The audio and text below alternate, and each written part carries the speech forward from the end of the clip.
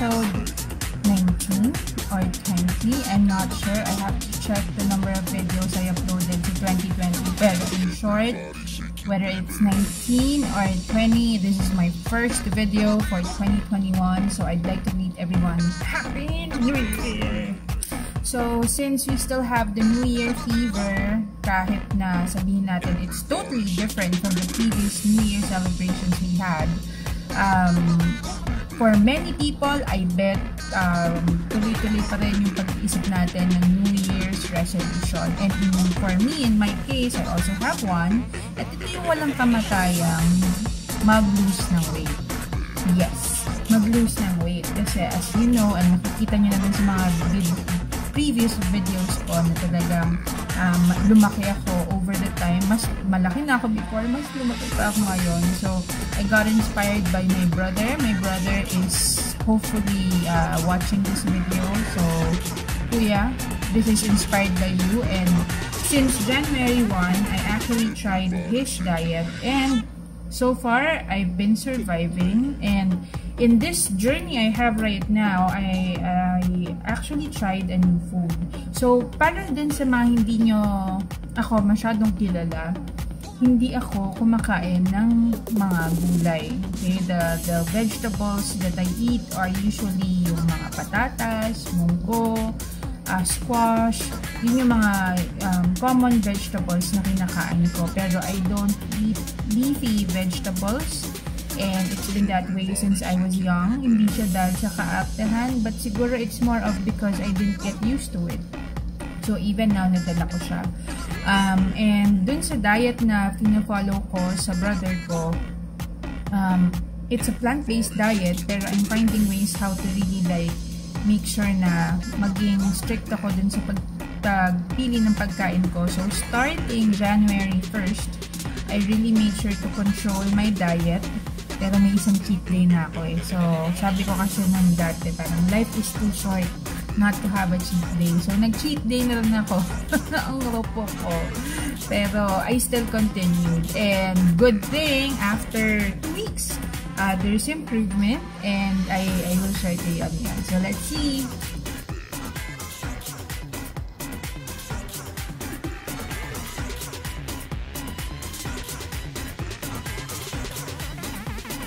So, sin sinabi ko nga sa inyo that I discovered a new food. So, knowing na hindi ako kumakain mga leafy vegetables, um, hindi ko siya, um, hindi ako kumakain ng mga salads, mga kangkong, yung mga usual na kinakain kapag nagda-diet. So, I looked online and I found um, some stores that are selling veggie meats, okay? So, what are veggie meats? Ito yung mga meats na would uh, come in different flavors and would come in different textures too. But since it's called meat, um, for someone who's not eating vegetables talaga, okay sa akin yung mga veggie meats dahil um, it gives me like an alternative food na hindi talaga yung actual meat and even though na sinasabi nila may preservatives pa rin sila and what and it's not strictly following yung diet ng kuya ko but I still get the that um, change in my diet na hindi na ako malag, madaming meats. Uh, I stay away from sweets. So, I discovered this food uh, online store called Foodgenics and I ordered different foods from them. And I'll take you back on the days na kinain ko siya and um, tingnan nyo kung ano yung mga kukuha nyo rin dito sa episode nito. So, please check it out!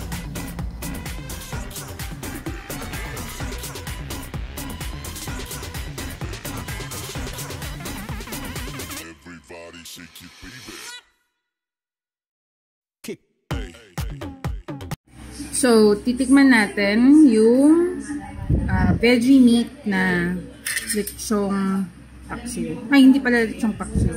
Lechong kawali.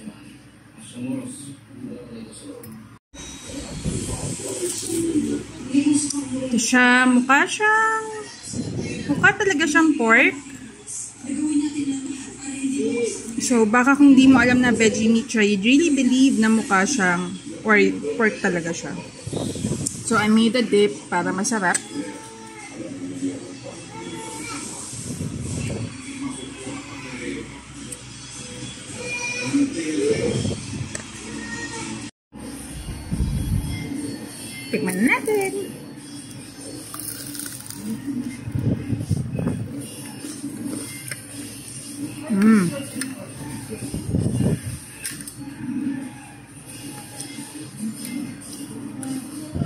Sarap siya. It really tastes like meat. Tapos yung texture niya, it will give you that feeling too. Para siyang karyoka. Pero, it's meat. Kaya okay siya in general. So, yeah. This is a good try. Veggie meat, lechong kawali. Kakain ako. So, if we'll look closely dun sa meat, may makikita kayong part na parang text, na-capture niya yung texture ng taba, tapos texture ng laman. Pero what I realized is, mas maganda na kainin to pag bagong luto para hindi siya matigas. Kasi kapag um, tumagal siya, it's possible na mas maging tough siya at mahirapan tayong kainin. Pero overall, it's a good substitute for meat. You won't feel uh, much oil and it's less guilt.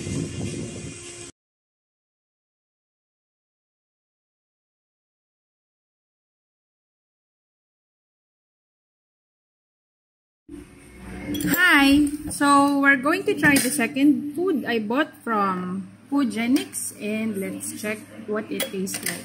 So, itong in-order ko, it's barbecue and uh, the color looks like barbecue.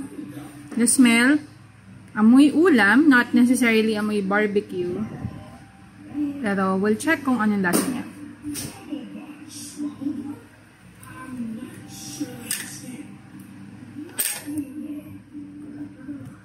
Mm. It has the smoky aroma of barbecue. At saka texture-wise, okay din siya. Nakaka-amaze na when you check yung texture tsaka yung look ng veggie meat, nakuha nila yung shreds that you usually see sa real meat. Galing.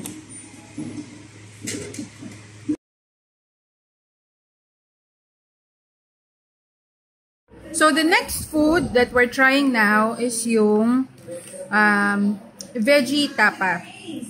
So,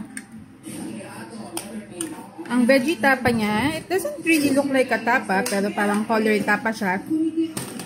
Smooth yung surface, and it tastes like canned ham. Pero may tapa, may smokiness ng konti. So, siguro disqualifies sa tapa. So, it tastes good too. Um, so, tingnan natin kung maubos ko siya.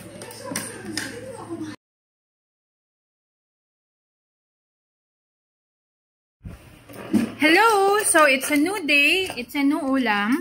And, and here's Cuckoo! Say hi, Cuckoo! Hi, everyone!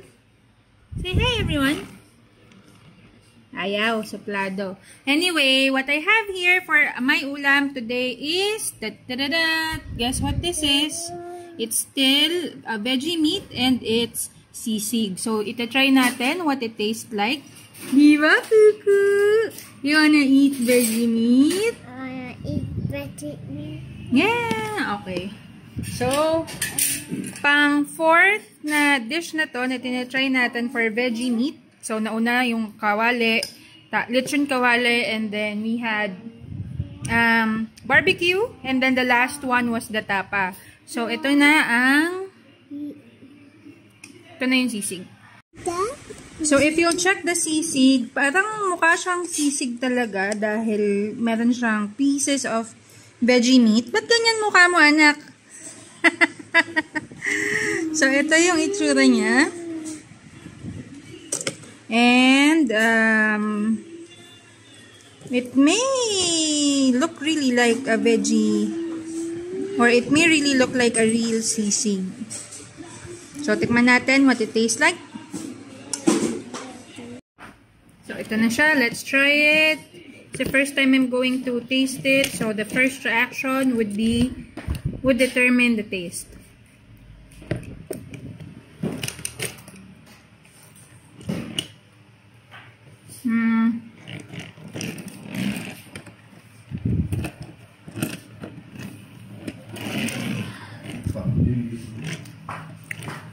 So, may nag-comment, parang giniling. Oo, mukha siyang, uh, or parang siyang giniling.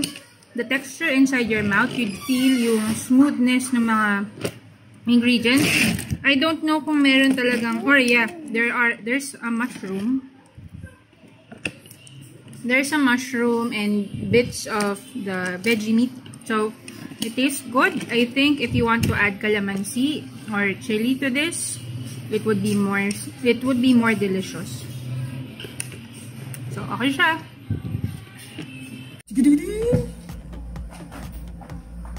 Ayan, dahil may animation effect. So, after some days of eating the four veggie meats I ordered, which are yung lechong kawali, pork barbecue, um, sisig, and tapa, I will give my overall general review of Foodgenics food. Una talaga, uh, I'd say na sulit yung pagbili ko um, because I was able to really um, sustain yung diet na gusto kong i-keep for the first two weeks of the new year. And um, as someone who's not eating vegetables, I think nagkaroon din ng magandang effect yon dun sa pagbaba ng uh, weight ko. Ilan yung binaba ko, you'll know later. So, kailangan yung panoorin yung last part. So, first question, ano yung favorite ko dun sa apat? So, among the four, um, my top choice is yung barbecue. Okay? Kasi yung barbecue, it really captures yung texture ng meat tapos yung flavor ng barbecue. So, if you want to see kung ano dun sa apat yung ita-try nyo, yan yung aking well recommended. Um, sa content or sa amount nung, nung vegetable or veggie meat, I'd say na okay din siya kasi I bought the veggie meats, I think, nung first week ng January and even up to now, meron pang mga uh, natira. Um, not because of course I'm I'm not eating but of but I think since ako lang yung kumakain ng veggie meats dito sa bahay um I think yung na-spend ko for the veggie meats for the first week, sulit naman siya in short. Yun yung point ko. So, you may be wondering kung ilan na yung na-lose ko. Um, after 2 weeks of dieting um, from, nako, medyo nakalungkot na isi-share ko to na 108 kilos ako nung nag-strike yung New Year as in January 1 and talagang grabe yung kinain ko during that time.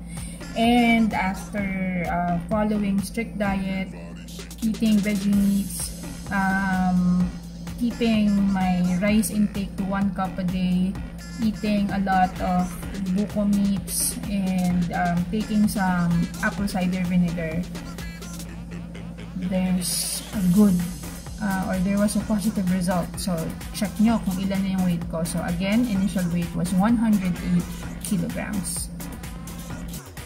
So, ito na ang um, weighing scale and we'll see kung ilan yung na-lose ko. So, starting weight was 108 kilograms. Huwag mo ako biguin, weighing scale. Okay. So, yan. Ayan, nagbabago-bago siya. So, this is a digital weighing scale. It's 105. So, in this kind of weighing scale, dapat tries mo daw siyang ita-try. So, 105. Let's check again. Ayaw na mabago. Dapat it should go back to 0. Ayan. Okay. So, 0, 0 natin. Yung yung weight na makukuha mo after 3 tries, yun yung final weight eh. Sige. So, yan. 105 ulit. So, consistent naman siya. So, that, my friend, so far, has been my progress after 2 weeks. So, okay naman siya. So, yan, friends. Nakita niyo na yung effect ng aking pag-lose ng weight. Um, and that's what they say, ba diba? Parang losing weight, part of it really, or majority of it would lie on your diet. So, what you eat is what you are. If you eat something light, you should be light. If you eat heavy all the time, you feel heavy. So, hopefully, masustain ko to. Naka-record tong nangyaring ito sa aking buhay. At kung tataba ulit ako at hindi ko ito mapapanindigan, ay nako, papaalalahanan ako ng video na to. Kaya medyo iffy akong mag vlog about this weight loss journey. Pero ang talagang focus nito is yung food discovery ko. So, doon na lang tayo tumutok. And please, please, please, huwag niyo akong i-attempt na mag-milk tea at mag-barbecue uh, at iba pa. Okay? So, yun, yun siya. So, that's it. Those are the things I'd like to share